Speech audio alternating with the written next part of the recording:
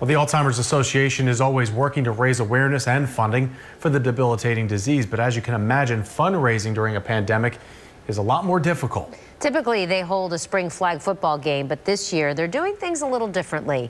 ABC Action News reporter McKenna King introduces us to one Bay Area woman participating in the virtual challenge and how you can help. In a typical year, women from all across the United States suit up to play flag football as part of the Alzheimer's Association's RivALZ Spring Challenge.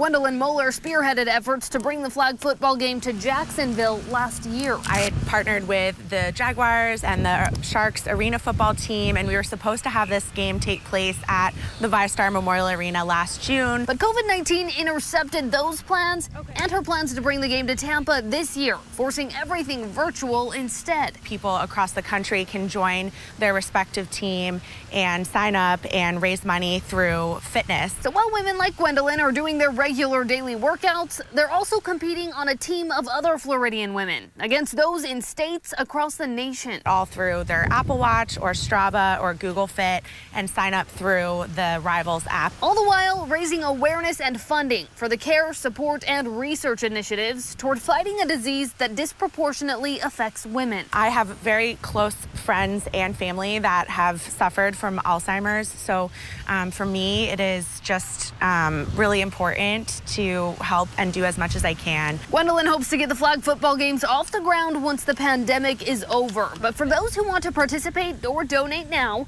the fundraiser ends on May 31st. So head to abcactionnews.com and click on this story. McKenna King, ABC Action News.